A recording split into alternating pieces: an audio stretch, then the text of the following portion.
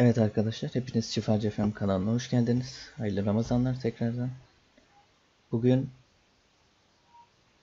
Futbol Manager editörü kullanarak Samsun Spor'u Türkiye 2. Liginde bildiğiniz gibi şuradan kulüp detaylarını değiştirden mali durumundan banka paketini, transfer bütçesini ve maaş bütçesini hepsini olabilecek maksimumun üçte birine yaptım görmüş olduğunuz gibi. Bakalım Samsun Spor neler yapacak. Şöyle görmüş olduğunuz gibi genel kısımdakilerine ve testlerin özelliklerinden not alacağım. Devre arası sezon sonu, 2 sene sonra, 3 sene sonra, 5 sene sonra neler değişecek buna bakacağız. Şimdi ben kariyeri tatili alıyorum. Evet arkadaşlar şu an devre arası transfer dönemi de bitti. 1 Ocak 2020'deyiz. 1 Ocak 2020. Şimdi bakalım Samsun Spor'a. Birincilermiş. Transferlerden atmışlar.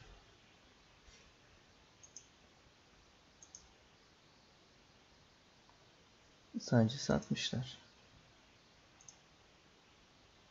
Alma yok. İlginç. Şöyle yapalım. Para babasını öncü finansör yapalım. Mali durum zengin zaten oldu. Şimdi de tatil alıp ne zaman aldım? Eylül. Eylül ayını alalım. Eylül 2020'ye.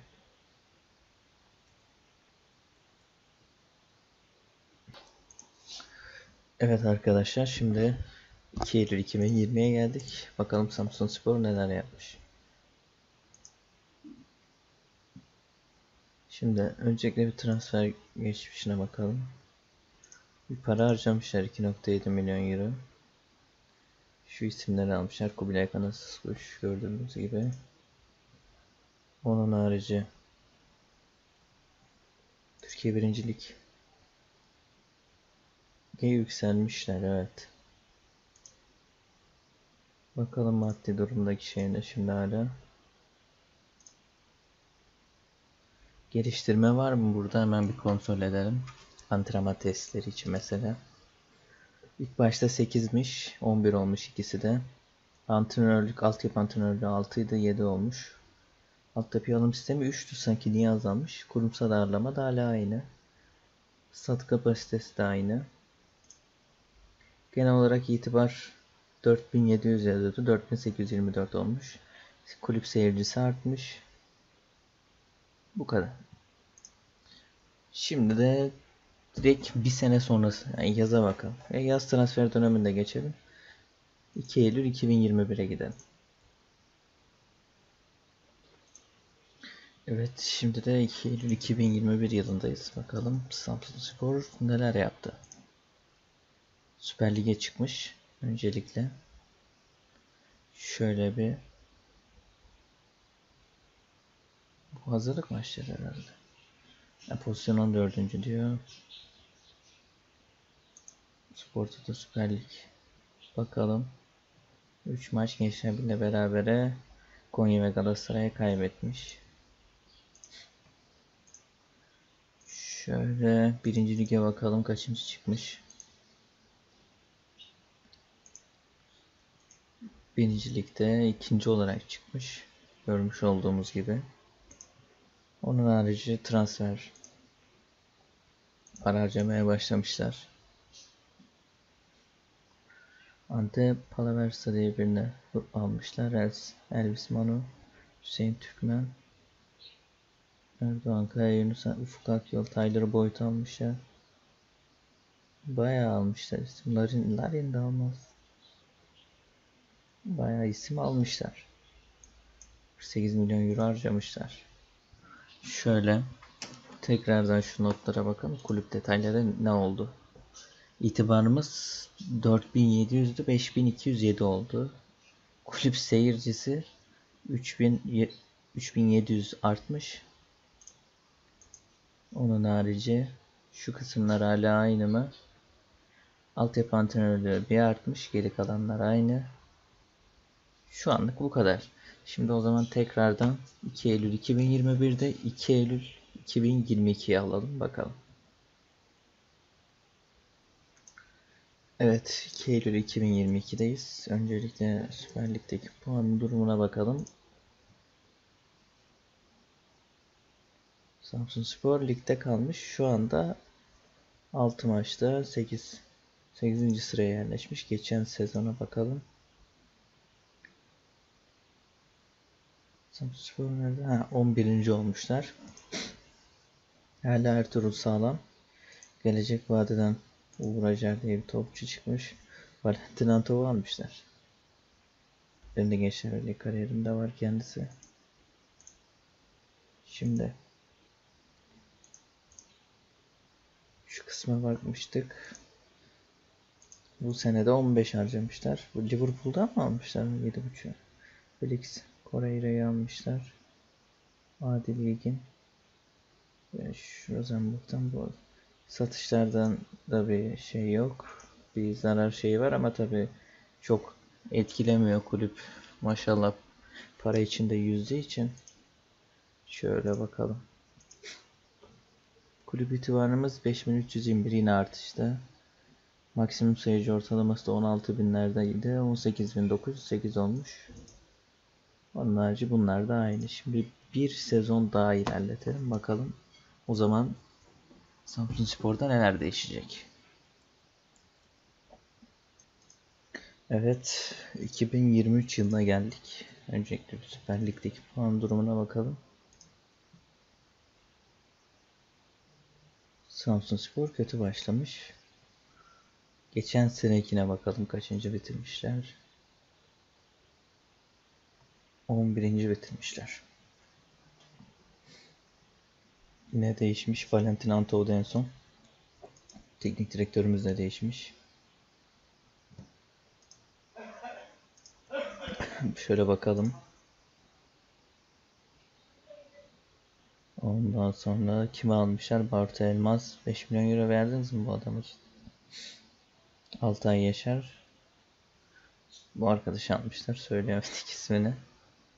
Bunlarca Tyler Boyd yine kiralık yapmışlar. Boşa bir transfermiş. Sezonda de e, ekstra bir transfer olmuş mu? Otan Karataş. Poli bedelsiz. Onu satarlar herhalde 5 milyon euro. El Cezir diyor Araplar istiyorsa Araplara satacaksın bunu. Başka çok satış yapamamışlar. Samsun Spor beklediğimizden yani ne bileyim daha büyük bir şey bekliyordum ama gerçi itibar olması lazım. Sürpriz bir şekilde bir Avrupa'ya gitse belki yani itibarını arttırır. Kulüp her ne kadar zengin olsa da tahmini değeri 106 olmuş hatta. Mali durumu zengin. Şöyle bakalım kulüp detaylarına. İtibar biraz daha olsa artmış. Pesler aynı alttaki oyuncu alım sistemi tekrar düşmüş. Onun harici bu kadar yani şu an. Şimdi şunu ne yapsak? Sigortacı mı yapsak? Tekrar kalsa mı? Kalsın. Öncü finansal olarak kalsın. Bakalım 2024 Eylül ayında neler olacak. Evet arkadaşlar 2 Eylül 2024 yılına geldik. Bakalım Samsun Spor Türkiye Süper Ligi'nde 14. diyor. Bir önceki sezon ne yapmış?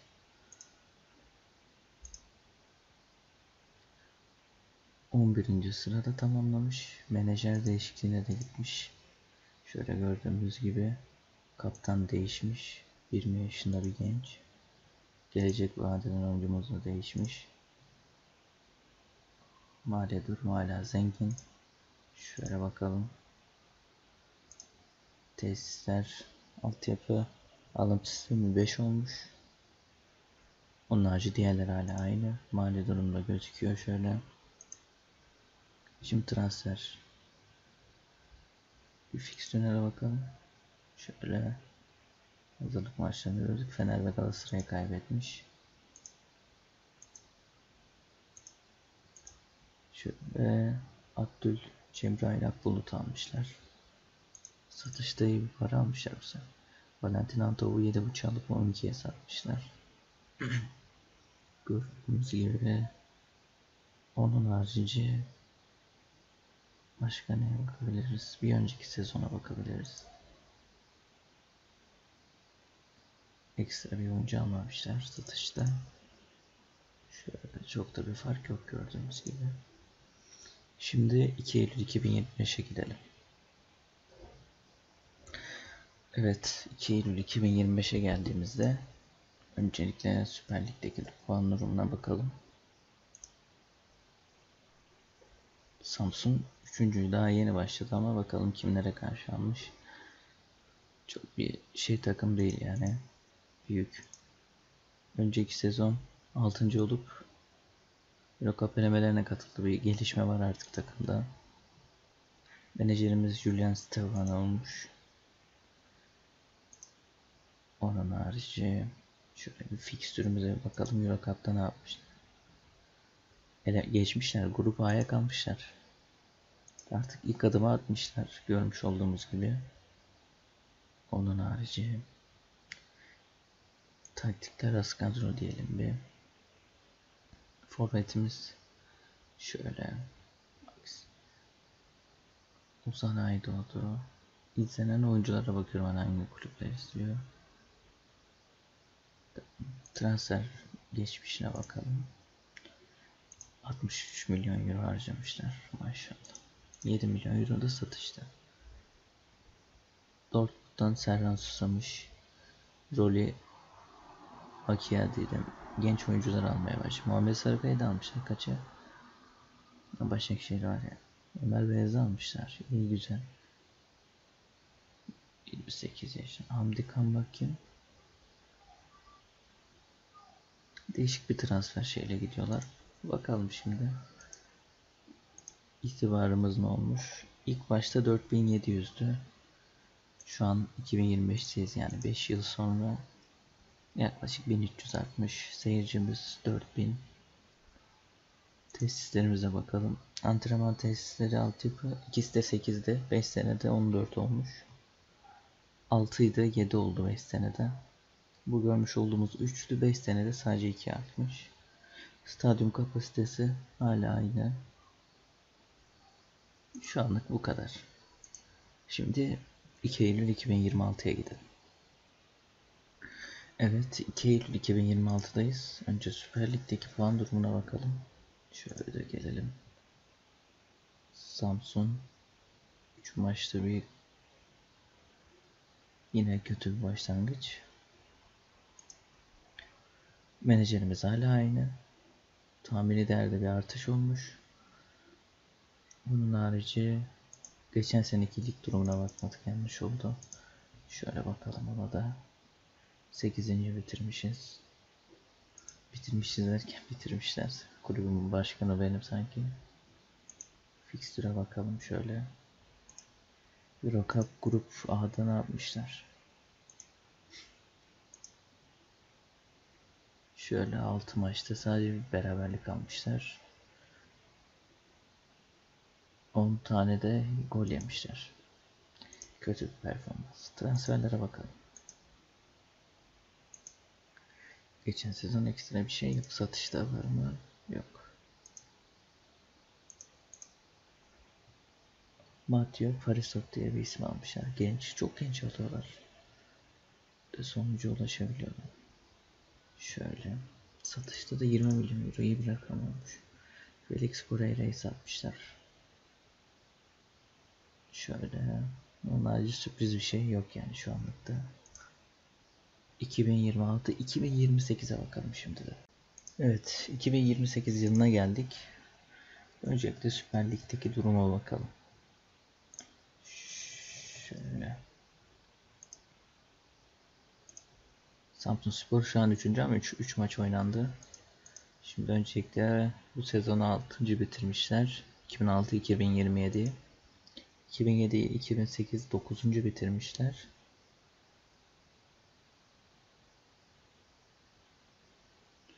Şu anda böyle. Menajer Filip Koku. Ondan sonra kadroda bildiğimiz bir isim var mı şu anlık?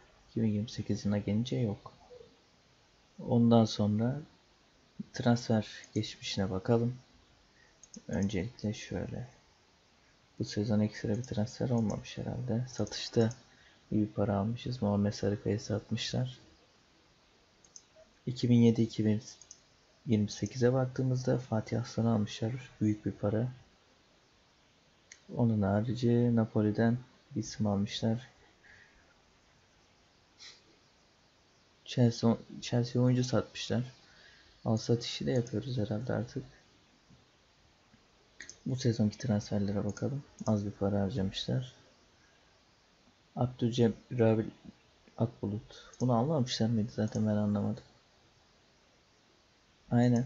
Kino tekrar almışlar. Bu saçma bir transfer mantığı. Satış. Burak Kapaçak. Şöyle büyük paralar yok. Azalmış gördüğünüz gibi biraz etki. 2028 böyle. Şimdi 2030'a bakalım. Bakalım Santraspor nerelere gelecek. Evet, 2 Eylül 2030'dayız. Her zamanki gibi önce Süper Lig'e bakıyoruz. Samsun yine ilk haftalarda iyi bir grafik. Bu sefer Fener'i yenmiş. O sezon bu sezon mu yoksa? Şimdi şöyle bakalım. Eurocup 2 vizesi almışız. Samsun Spor 34 maçta 60 puan toplamış.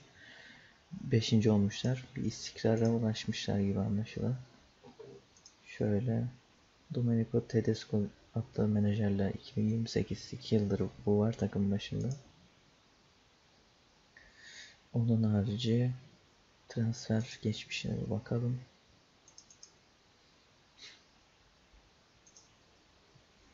...58 milyon euro harcamışlar. %8'lere sat Fatih Aslan. Paris Saint Germain'e satmışlar. Çok iyi. Şöyle onun harici büyük bir transfer yok. Oyuncu alımı Abu Bakar 24 yaşında. Şöyle genç alıyorlar. Ama fiyatlar biraz fazla gibi herhalde.